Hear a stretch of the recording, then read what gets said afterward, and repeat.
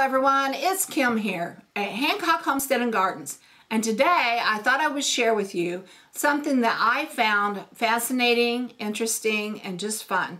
And that is gnomes. Um, I was working in my flower box and I was looking at these little guys and I was like, how did you come about? Who thought of you? And so I went on the internet and I did some research.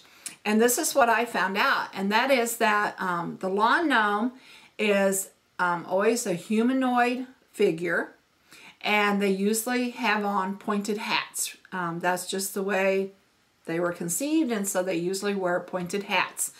And they're used as decorations in your lawn, in your gardens. And uh, the figurines originated in 19th century Germany.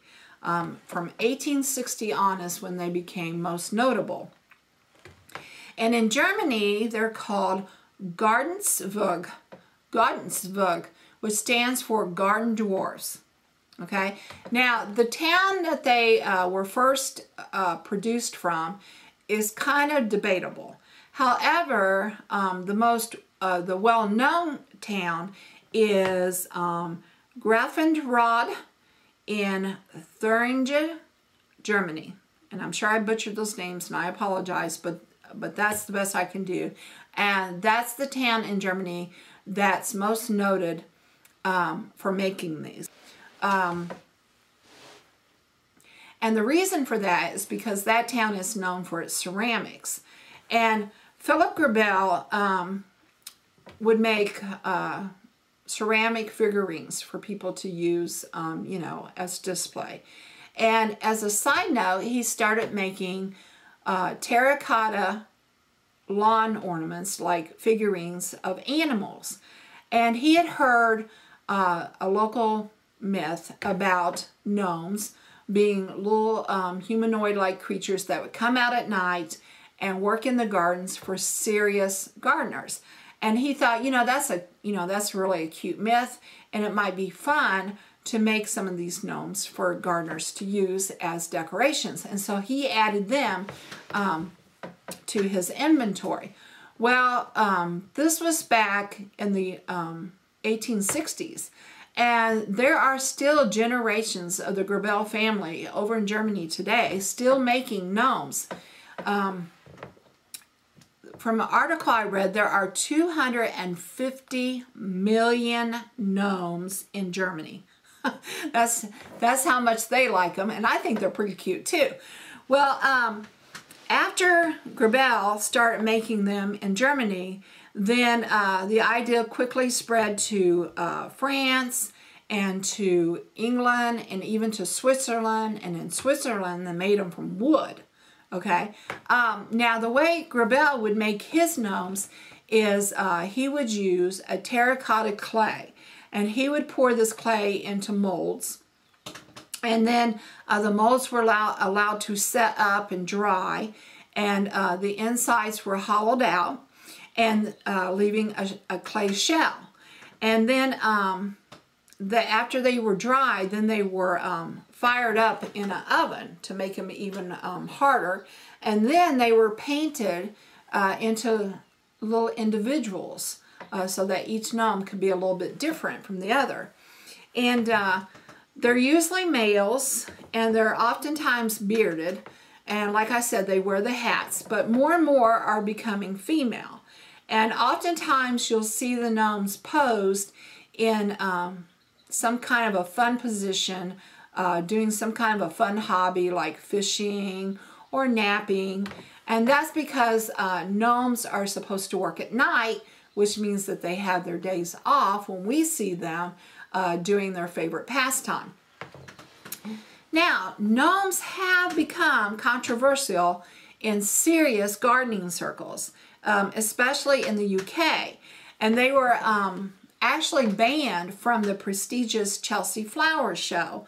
And that's because the organizers felt like they were just too distracting. And, you know, I have to admit they, they do have a good reason for thinking that because they are somewhat distracting.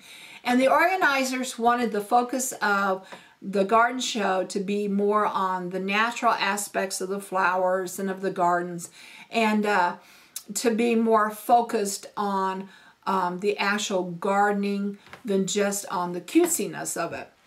However, in 2013, uh, Chelsea did uh, raise its ban and allowed them because it was their 100th anniversary.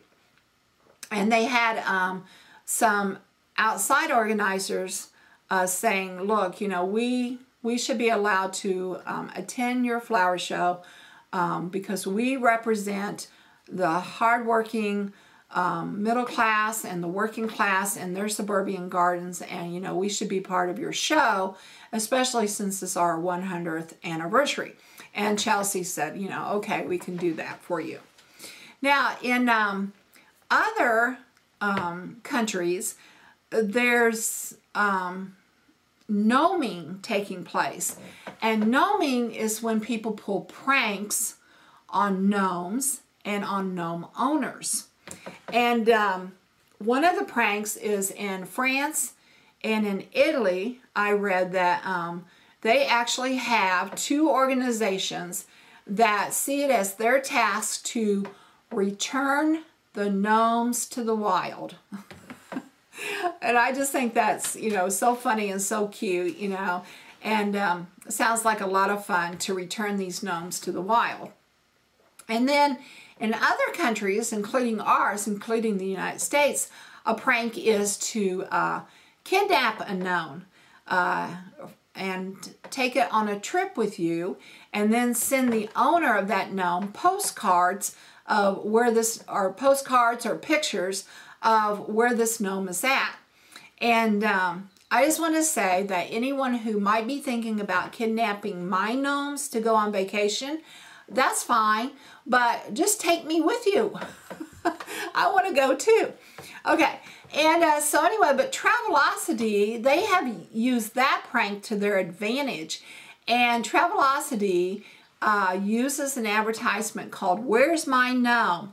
And they have a little, um, I think he's blue, a little blue outfitted gnome uh, to be their spokesperson.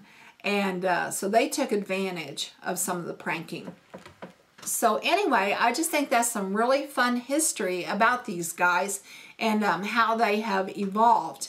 And uh, if you like this video, please give me a thumbs up. And if you'd like to know more about our homestead and what we do on it and what these little gnomes are helping us to do, please subscribe. This is Kim at Hancock Homestead and Garden saying bye for now.